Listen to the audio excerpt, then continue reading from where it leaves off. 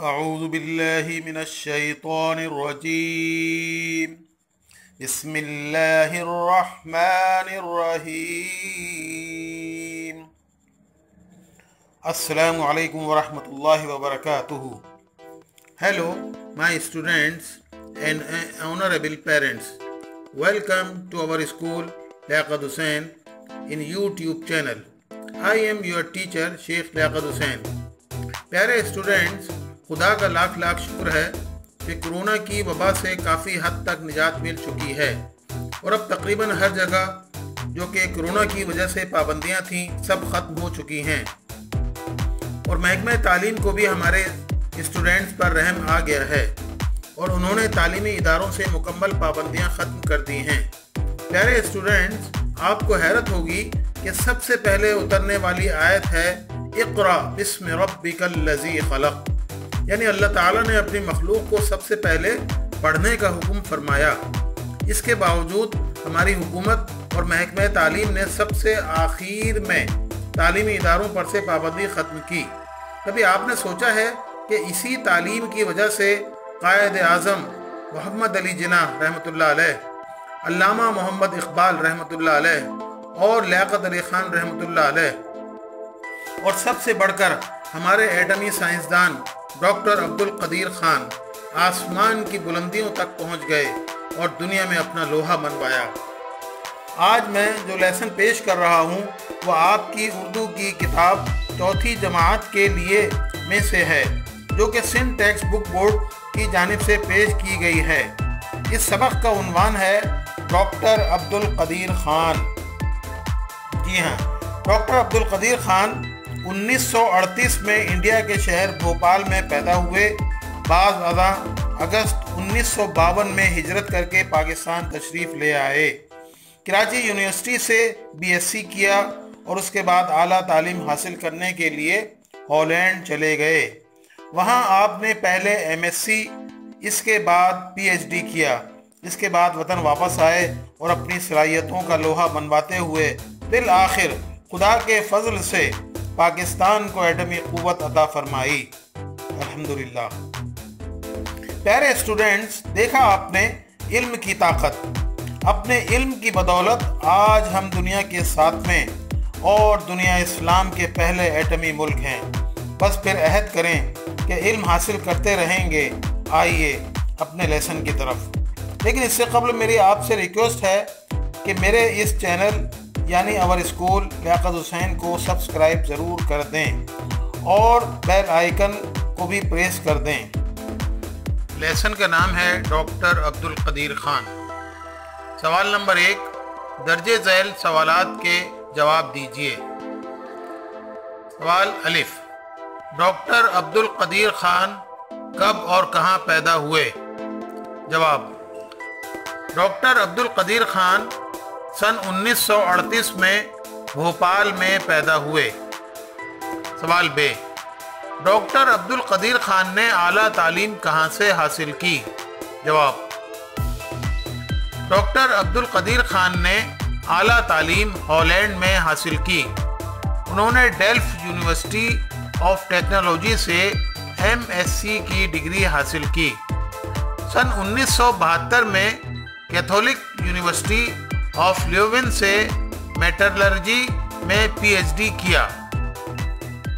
सवाल जीन, डॉक्टर अब्दुल कदीर खान को कौन सा सिविल अवार्ड दो मरतबा दिया गया?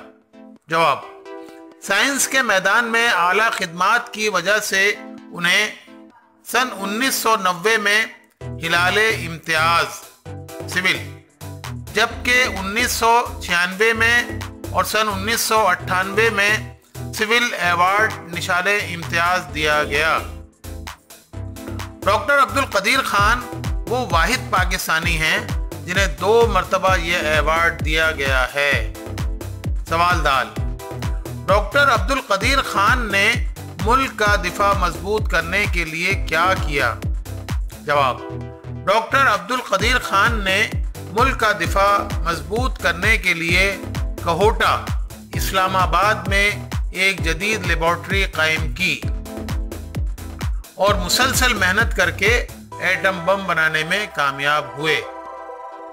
सवाल है, डॉक्टर अब्दुल कदीर खान किन ममालिक के साइंसी और इंजीनियरिंग इदारों के रुकन हैं?